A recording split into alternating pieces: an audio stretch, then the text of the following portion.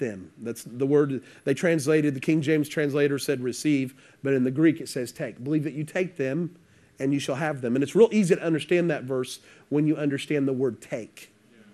You're not taking like a thief, you're taking from the table of the Lord set before you. See, He already gave it to you. Now, think about this. I, I love the Word of God because I love to meditate on the Word of God.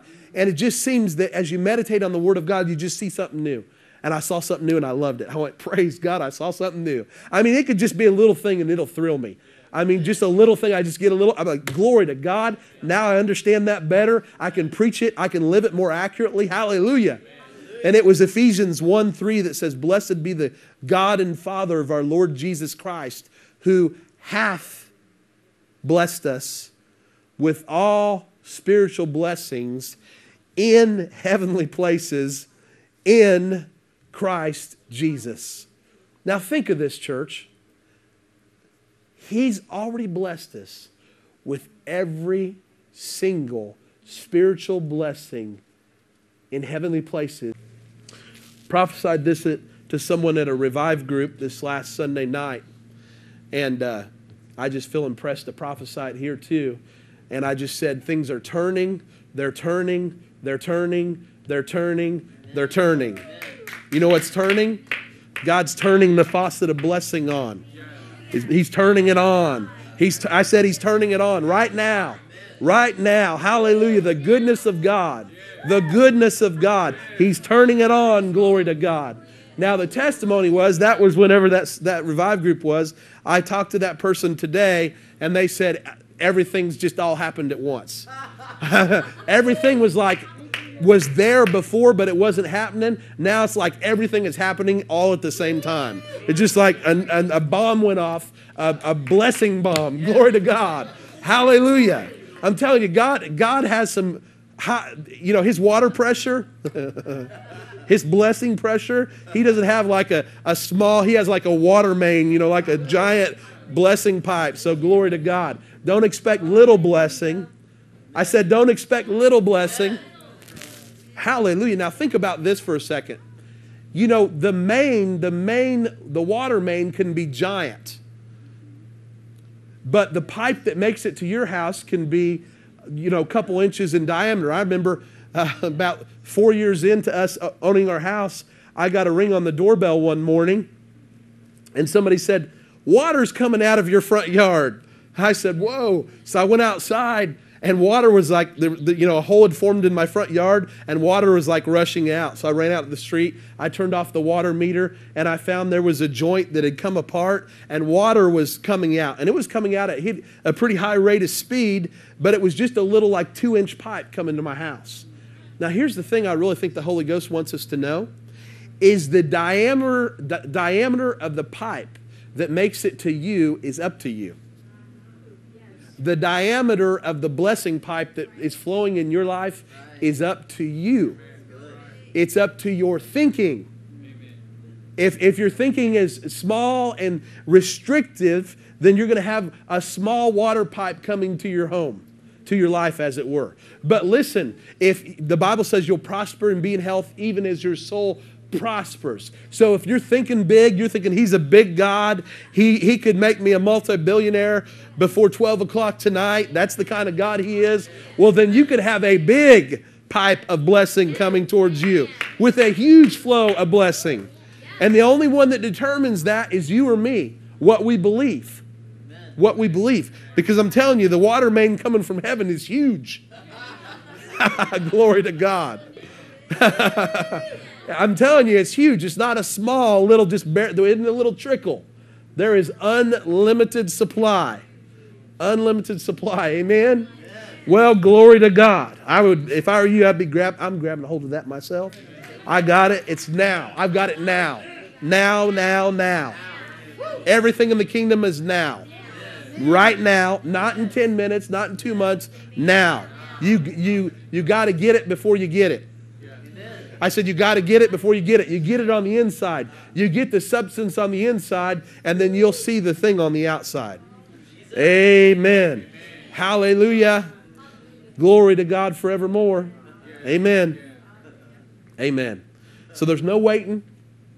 I said, There's no waiting. No waiting. Yeah, but Pastor, I haven't seen it yet. That's okay. You've got it on the inside. As long as you got it on the inside, you got it. The rest, just leave the rest in your Father's hand. You'll see it in the natural very soon. As long as you keep it on the inside and you don't change change your speech into, well, I'm, well, it's going to get here pretty soon. Well, then no, it's not. Because you just, you just put it off in the future. And if you've got it in the future, you don't have it in the now. And if you don't have it in the now, it's not faith. Because now faith is. Right? Amen. Well, glory to God. Hallelujah.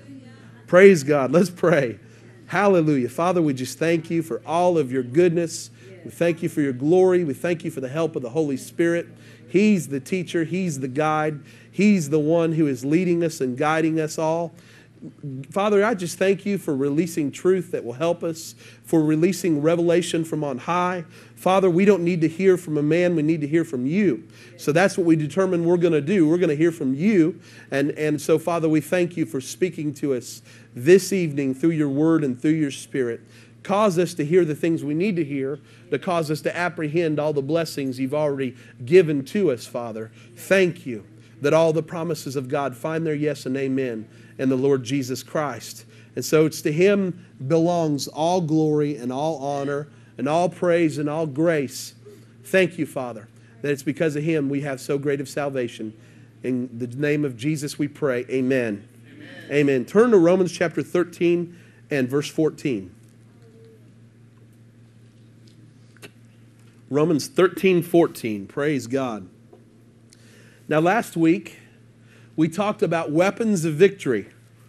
Weapons of victory. Do you remember that? Do you remember we have three enemies? Every believer has three enemies the world, the flesh, and the devil. The world, the flesh, and the devil. The, the, the fight we have with the world is to not conform to the world. The, the fight we have with the flesh is to not yield to the lusts of the flesh, but to yield to the control of the Holy Spirit. The fight we have with Satan, with his kingdom, and his kingdom is a wrestling with the demonic realm for the victory Jesus has already won, but at times it will be contested and you will have to war. You will have to stand on your rights in Christ Jesus and enforce his defeat, fighting not for victory, but from victory. Glory to God. Romans 13, 14. I want to expound a little bit because although I think we kind of outlined some of these weapons, we need to really know how to implement them in detail, right? Romans 13, 14. But put you on the Lord Jesus Christ and make not provision for the flesh to fulfill the lusts thereof. Amen. Amen. This is such a simple verse, but yet it's such a powerful weapon of victory for all of us. This verse, if we do this verse, we can be completely victorious all the time. All the time we're implementing this, we can live in victory. Right? This gives us the opportunity. This gives us, it's so simple and yet it's so powerful what it affords us. It affords us the way to live the Christian life. And notice it doesn't say to live the Christian life, try and be real good. Do your best. Now, the other side of that coin is some people just think, well, you know, just live however you want to live. And that's crazy. And it's false doctrine. And it's darkness. And it's destruction. Right? So it's not that it doesn't say that we shouldn't strive, but there's a way we war that's different from the world. We don't do it in our own strength. Now, we still do it but we don't do it in our own strength. That's important. Because, see, if you think it's all up to God, it isn't all up to God. You have a free will and you have a choice. However, He has empowered you to make the right choice and to live in Him and to live in His power and live in His glory. Um, now, some people are called to wear clothes. We're called to wear God. I said, we're called to wear God. I mean, it's good that you put on clothes, but don't forget after you put your clothes on, put God on with your clothes. Right? Because if we're a Christian and we haven't put God on, we're actually going around naked spiritually, unclothed. I don't, I don't want to be that way. Do you? I want to be clothed naturally and clothed spiritually. And really, I think the natural clothing should just remind us every day when we get dressed in our natural clothes, what am I putting on spiritually? And he tells us right here, put on Jesus. Well, that, how do you do that? Anybody ever read that and go, now, how exactly do you put Jesus on? This could be challenging. I may need some instruction here. We're called to wear God. Well, we get a clue in Luke chapter 24 and verse 49, and I'm going to read from the Young's literal translation. It says, And lo, I do send the promise of my Father upon you, but you abide in the city of Jerusalem till you be clothed with power from on high. Many, many churches teach the last words of the Lord Jesus Christ were go into all the world and preach the gospel to every creature. That was not his last words. Two of the gospels record this, where he said, Don't go, you're not ready yet. Did he say that? Amen. Right here, he said, What's he saying? He's saying, You're not ready. Right. You're not ready yet. Now, that, the interesting thing is, when Jesus made this statement, he's resurrected uh, from the dead. He's appeared to the disciples after his resurrection. He's even uh, breathed on them. I think that's in the book of John and said, Receive ye the Holy Spirit. So that was the new birth that they received. But he said, You're still not ready. You're born again and you're still not ready for, for what I've got you to do. You're not ready to face life. You're missing something. What are you missing? He says, Wait tarry, wait in the city of Jerusalem until you be endued or clothed with power from on high. Amen. Glory to God. In other words, we are not called to be natural people. We are not called to be well educated, gracious, slick people. That's fine and good. All that, that doesn't hurt you, but that doesn't bring people into the demonstration of God's kingdom that He longs to demonstrate in people's lives. No, He's called us to be supernatural people. Supernatural people. You know, there really should be no question as to which religion is true because if Christians had been taught from the beginning the doctrine the Apostle Paul taught in the epistles, the church would be so different today. The church would be full of people that could produce miracles at will. At will. At will. Not later. Not, well, let me pray for you and we'll see what God will do. Now, wait a minute. That's not scriptural. It's not really scriptural for you to pray for somebody to be healed. We've only got one verse in the New Testament about that. That's James 5. After the Gospels, after the resurrection, right? We've got one verse about that. Now, the mouth of two or three witnesses, let every verse, every word be established. No, we've got to understand we are a carrier of God. Yes. God is in you and God is in me. And so you are not called to ask the Father to do what He's already told you to do. He has told you to heal the sick, cast out devils, raise the dead. Now, how am I supposed to do that? And he answers the question. This is in uh, Matthew 10. You can look it up later. Freely you have received, freely give. Now, if you're watching the book of Acts, I've noticed this. Here's where prayer comes in. Like before Jesus, or before Peter raised uh, one, one person from the dead, he stopped before he, he ministered to them and he prayed. He knelt beside the bed and he prayed. What was he doing? He was getting in the spirit. He was getting fired up. Maybe he'd gotten a little drier. He'd, he'd, he'd given out so much, he was getting a little dry. So, what was his prayer doing? He was getting a quick charge up of the power of God to release the power of God. Now, it doesn't say he prayed for the person to be raised from the dead. He prayed to get full of the Holy Ghost, full of the power. Then he released the power. Because he's the one that said, Such as I have, give I thee. Now, if you don't know better, you'll think this is arrogance. It's not arrogance, it's fulfilling the will of God, doing what Father told us to do, doing what Jesus did. Jesus didn't pray for the sick. Check it out. I did an in depth study of the ministry of Jesus. I couldn't find where he prayed for the sick. He told people how to release their faith to get their miracle. Kind of like, you know, when the, the four crazy friends had the guy sick of the palsy and they took the chainsaw to the roof of the church and they went and cut that sucker open, right? And they let him down right in front of Jesus and Jesus prayed for him. No, he didn't. He said, Man, thy sins be forgiven thee. Oh, wow. Can you imagine if a preacher said something like that? But Jesus said, Man, thy sins be forgiven thee. And the, of course, the, the minds of the scribes and the Pharisees are going tilt now. How dare you? You this is Mark chapter 2. You can't forgive sins. Who do you think you are? Now none of them said that, but Jesus perceived their thoughts through a word of knowledge. He perceived what they were said and he said this. He said, "I'm going to really mess with them." I love Jesus. He loved messing with religious people. He just loved just taking their theology and upending it. And I'm telling you, some of us need our theology upended and need to get into the reality of being a New Testament believer and not live like you're under the old covenant. Live like you're under the new covenant and live out of the things that He has freely given to you and learn how to use the weapons of your warfare and crush the works of the devil. For what did Jesus do? He went about doing good and healing all those that were oppressed of the devil, for God was with him. And I'm here to tell you, God is with you, and God is with me, and we can do the very same things.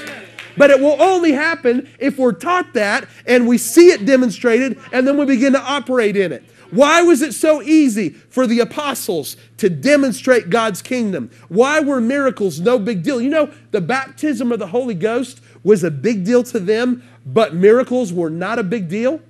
They had never seen anybody filled with the Holy Ghost. Matter of fact, Philip went down to Samaria and preached Christ. He had uh, epileptics healed, those sick of the palsy healed, devils coming out of all kinds of people, right? He had all these miracles. They all got, so people got born again, got water baptized, but for some reason he couldn't get them filled with the Holy Ghost. So he calls for the apostles.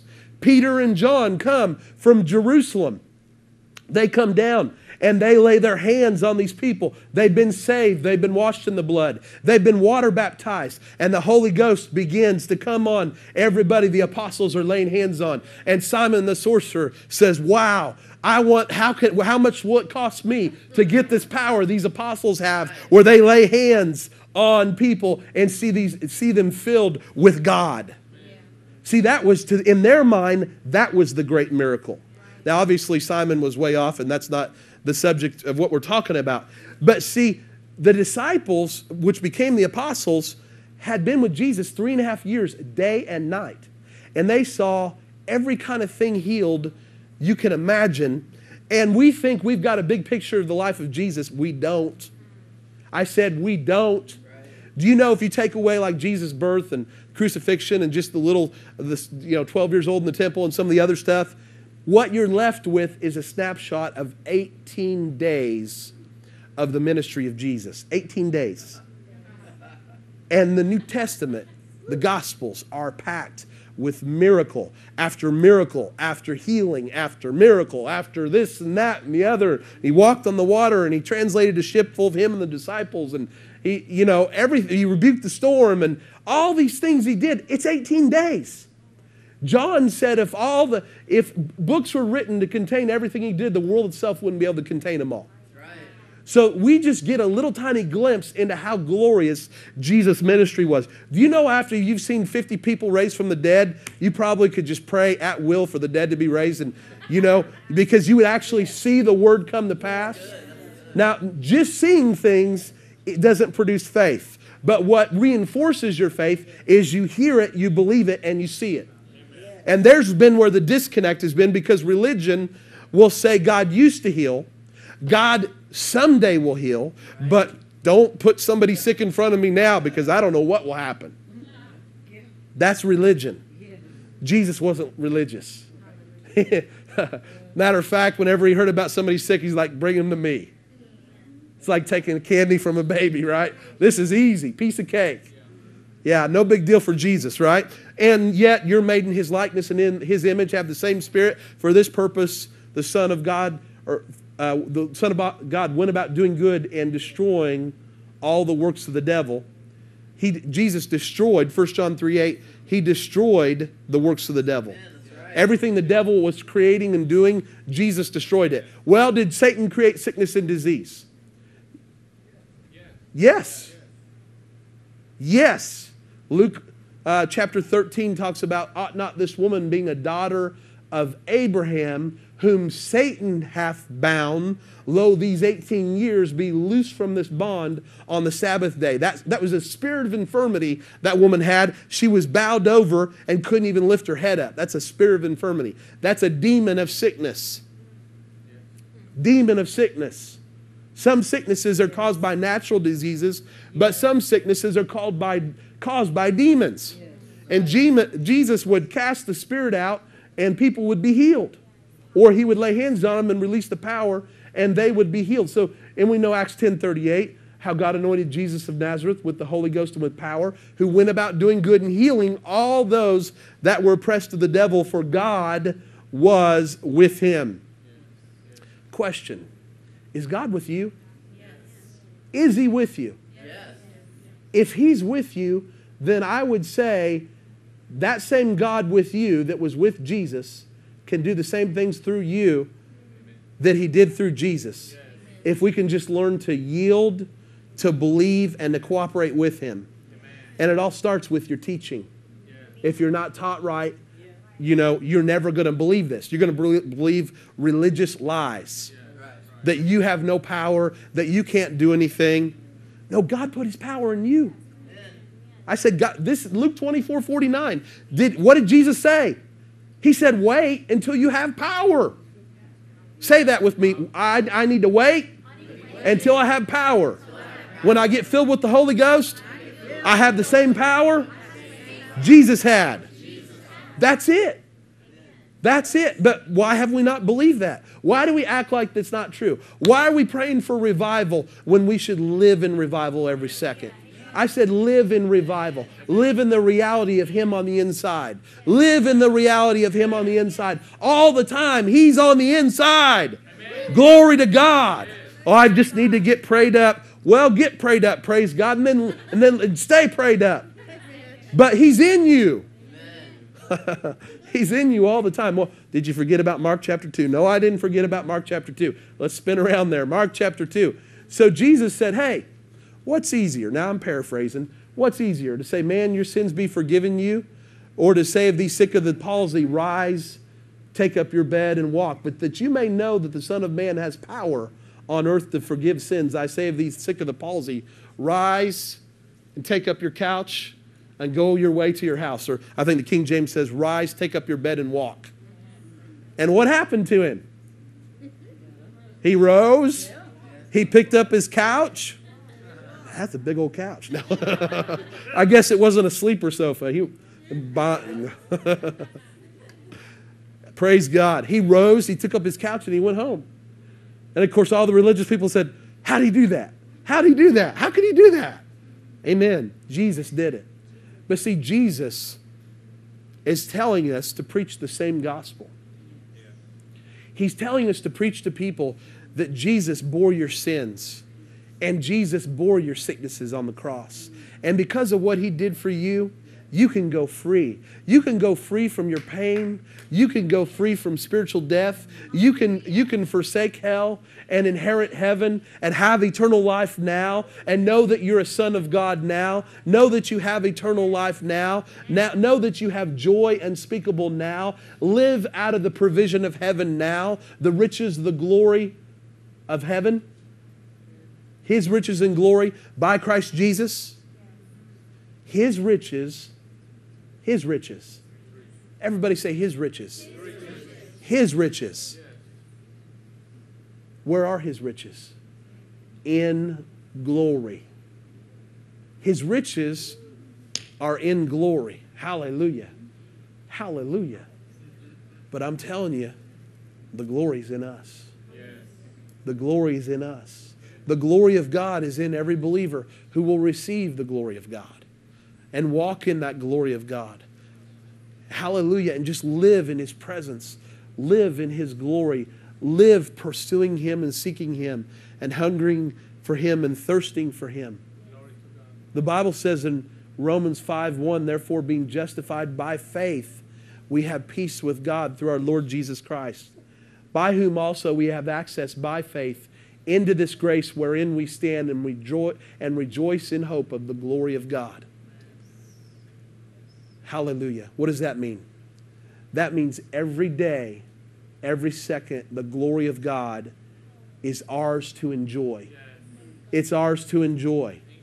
That's why, in, how, how do I enjoy that glory of God? Well, be being filled with that glory. How do I be being filled? Where Ephesians 5:18 talks about that. And be not unwise, but understanding what the will of the Lord is. In other words, there's so many Christians today that don't know what the will of the Lord is. What is the will of the Lord? It's to not be unwise, but to be wise. How can you be wise? Well, see, immediately to be wise, we think it's how we think. But Jesus crushes that paradigm because he says it's not how you think, it's how you drink.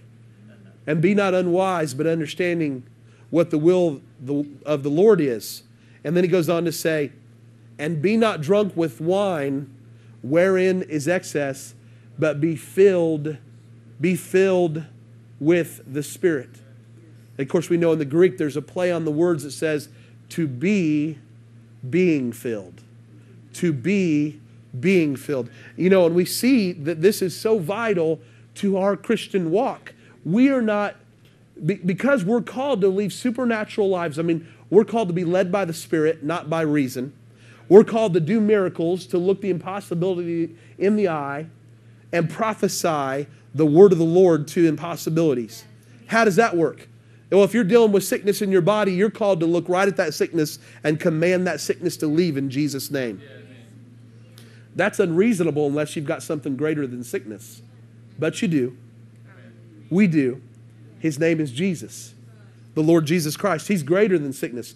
So we're called to live an unreasonable life, not to be held back by reason. Now, all the world around us lives by the mind of sense and reason. We know in Romans 8 6 in the Amplified, I believe it is, it says, the mind of sense and reason is death, death that comprises all the miseries of sin, both here and hereafter. So if I live my life out of reason and you live your life out of reason, and that's the end of the day, that's what it's all about is reason, we're gonna, we're gonna be miserable. So many Christians are trained this way. They're not trained in the supernatural. They're not trained to speak the word of God to the impossibility. You are the prophet of your own life, of your own destiny, and of your own future. If you if, take a look around at your life, if you're not happy with it, check out what you've been saying. Your life will never rise above the level of your own confession.